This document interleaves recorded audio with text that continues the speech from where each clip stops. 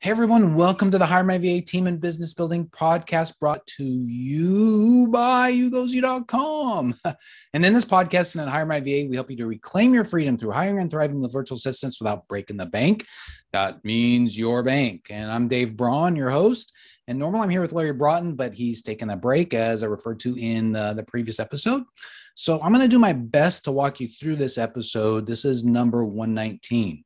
And really, what we're going to do here, we're going to do something a little bit different. Now, we're going to talk, uh, do a summary of some of our earlier episodes.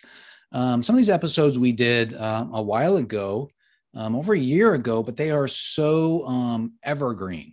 And I don't want you guys to miss some of the important points in that. Um, in these first set of our podcast episodes, when we started answering these questions, they're really more limiting beliefs um, when it comes to building a team and ultimately a business. And these limiting beliefs are things that I've had to get over, Larry's had to get over, and you've got to be able to get over these things as well if you're going to build a business. Um, you know, if you haven't heard what I feel is the best, very best definition of a business, I'm going to tell you what it is right now. And that's from Dan Lok, and he's an internet marketer. And he said a business is a profitable enterprise that works either with or without you. Get that with or without you. The key thing is without you. Because if you aren't working towards that, if your business is going to collapse when you're gone, then you're really not building a business. You're continually creating a job for yourself. Sometimes that job that you're creating for yourself is even worse than a real job because at least with a regular job, you can take a vacation and get away from it all.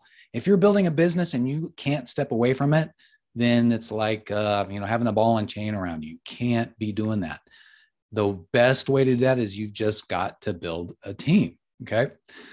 So um, these earlier episodes you can find on our website at hiremyva.com slash podcasts, where you can listen, watch, or read, and because we've got transcripts there. Okay, but what's great about this episodes, and I think we're going to do a few more like this, we're going to see, um, is we're going to give you, or I'm going to give you the main highlights of some of these episodes. Now, I still recommend you go back and listen to them or, or at least read through it.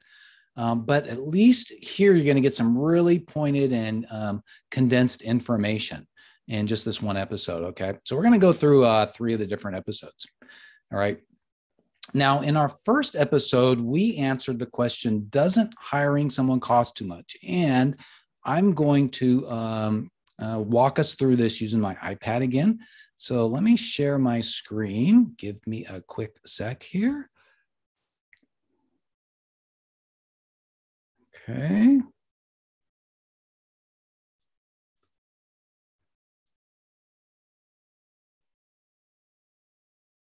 All right, so hopefully you guys see this. Hopefully, oh, I got to go to my pen.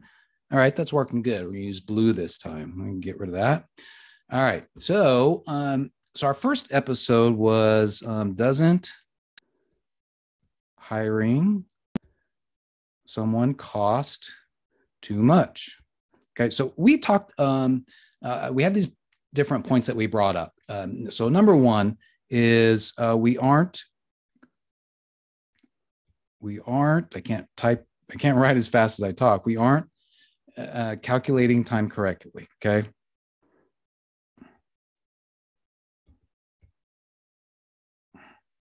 Okay. Number one, we aren't calculating time correctly because we think a task that will take an, let me go back up. we think a task that we do um, is going to take an expert the same amount of time. And what we do is we project that time cost in the calculation. So, for example, um, it might take us 10 hours per month to do our accounting. Okay. But someone that really knows what they're doing, you know, it's going to take them probably five hours a month. Okay. So we might automatically think, well, like an accountant's going to make $100 an hour. It's going to cost 10 hours. No, it's only going to be five hours because they know what they're doing. It's not going to cost you that much, but you can kind of get the idea, right? So we aren't calculating the time correctly and how much time it's going to take somebody else to do it. All right. So the second point was brought up is that we aren't calculating the actual cash, the actual cash cost is incorrect in our minds. Okay. So we all always think of you know how much is going to cost in the United States. Now, there's various places in the United States that is it's going to be different between whether or not you are in um, Southern California, like I am, versus somewhere maybe in uh, Georgia or Florida. The costs are going to be a little bit different. Okay. Now, um, because we talked about here, it's not just about time, but it's about actual um, location. So that's one of the reasons we advocate for uh, people from the um, the Philippines because uh, we, have talked about that a bunch of episodes, but they're loyal, they're hardworking, um, they're honest, um, and they're very, uh, there's a lot of expertise, and their rates are roughly um, one fifth to uh, one tenth of what it is in the US. All right. So you can really get a lot more bang for your buck. Um, an example is if you've hired a developer that might cost you 100K per year for a, a US, um, it's going to be maybe about 10K um, per year in the Philippines.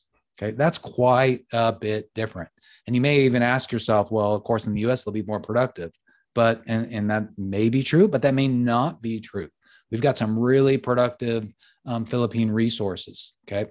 Um, so uh, you got to challenge that in your mind. Okay. The, the next thing that we were talking about, oops. The next thing that we were talking about is it's back here. The next thing we were talking about in number three is we aren't we, the we aren't calculating the lost opportunity uh, costs. Okay, the lost opportunity costs. Okay, so lost opportunity costs. Say you spend 10 hours a month on accounting. What else could you be doing with that time? What could you doing? What could you could you be doing with another 10 hours per month? I mean, you could be you could be doing creating new offers. You can be building your email list.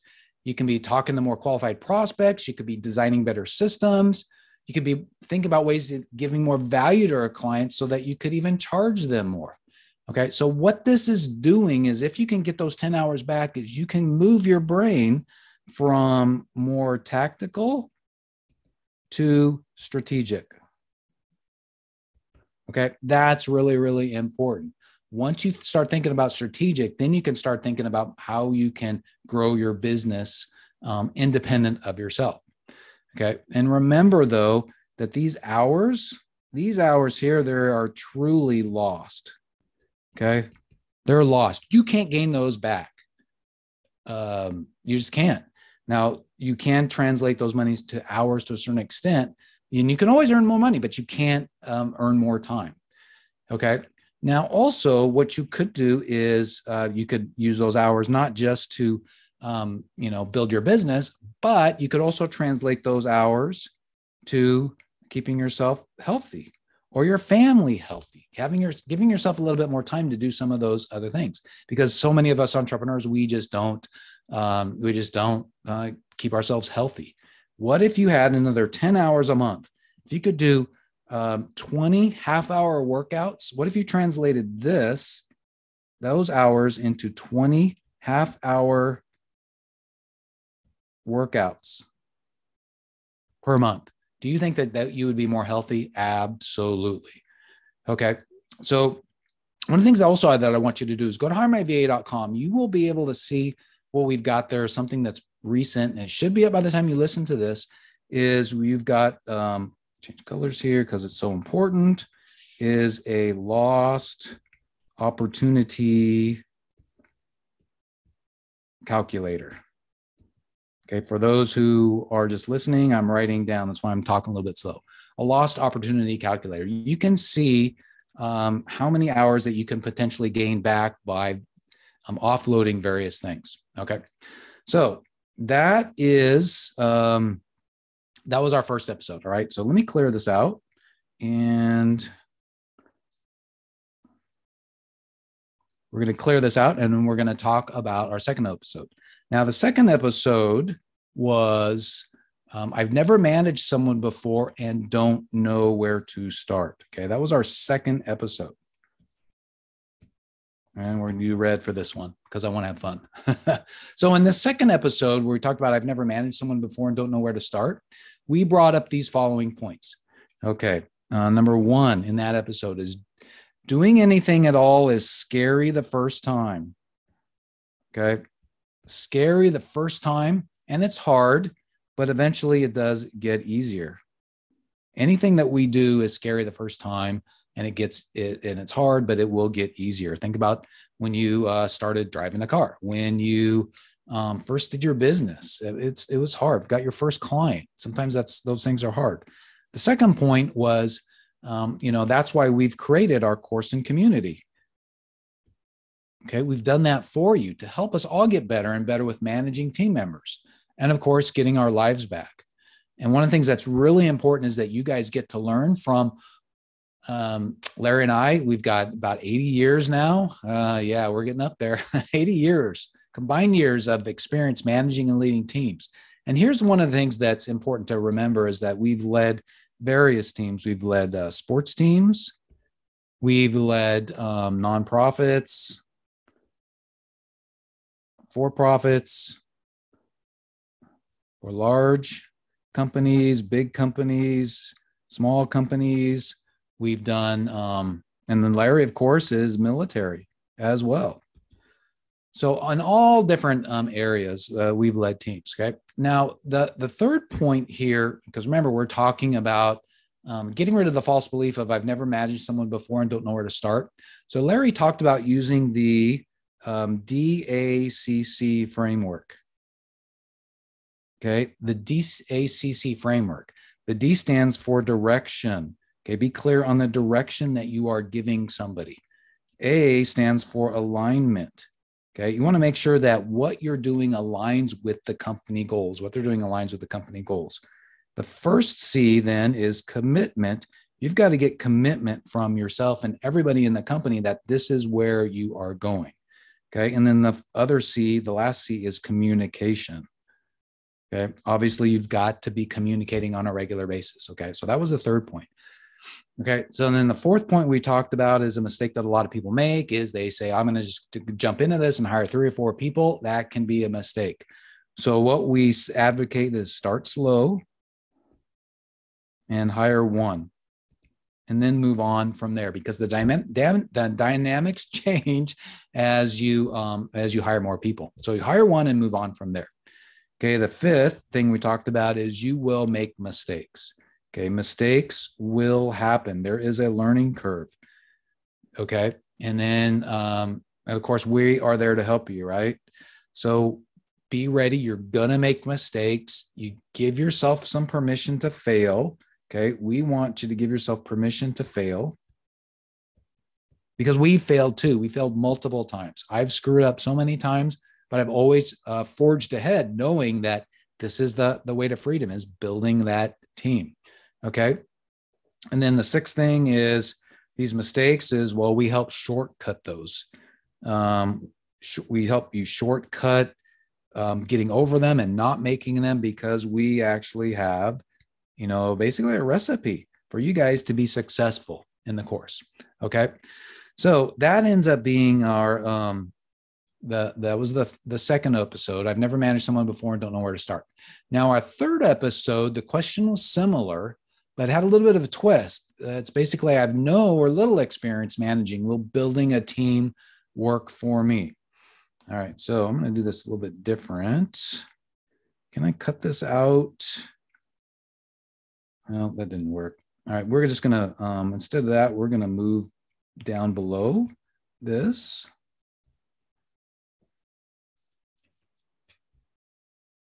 Okay, so now we're going to talk about I have no or little experience managing while building a team work for me. So here's what we mentioned the following here is all right. So some people look at us and say, of course it works for you. You know, you look at Larry and Dave and you say, well, of course it works for you because you've got all these years of experience that we just mentioned. Well, of course, that's one of the reasons why we created Hire My VA to help you, that we've got the Hire My VA course and community. Okay. Right. And we're not here just to help you with the team, but we're here to help you with um, not only team, but with your, but both business as well. Okay. All right. So, and one of the ways that we do this, the main way that we do this is with our powerful Q and A sessions. Okay. They're designed uh, exactly so that you can ask us anything that you want from, you know, we've had a question about how to get rid of overwhelm. Um, yeah, you can ask us how to keep in shape, you know, even how do you establish habits um, to what are the most important financial systems in your business or in your life to create. So you can ask us anything you want. If you when you participate or submit a question, we will answer it. And then the other great thing about it is you'll get our community answering it um, as well. The folks that are on the call, we leverage those as well. So you're not just getting Larry and me and our years of expertise, but you're getting a lot of others uh, their expertise as well. Um, the second thing we have to remember is we started like you. So we started just like you. And guess what? It's working for us. And it, it we, like I said, we failed, um, but it's worked and it is working. We are still hiring people and looking for people.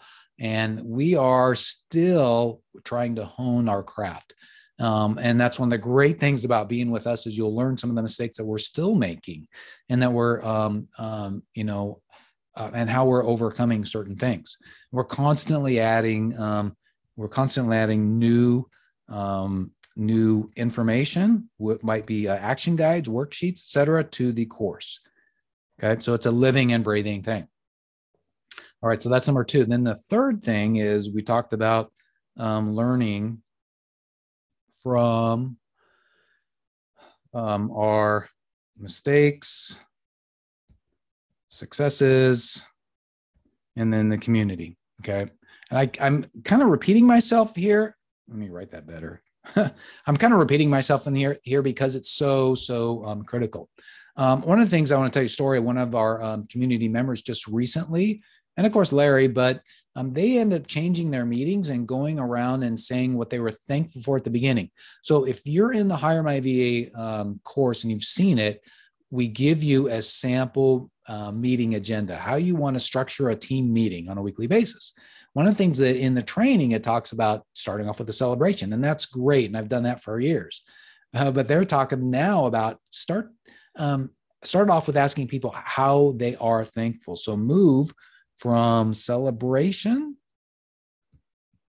to what are you thankful for? And so we've been doing that in the last couple of months, and in our team and it's it's a lot more fun. It really does lead to a better team meeting. It leads to a better attitude because once people are thankful and grateful they are a lot more positive and they realize um, that there really is is a lot. It helps. The more thankful we are the more positive we are.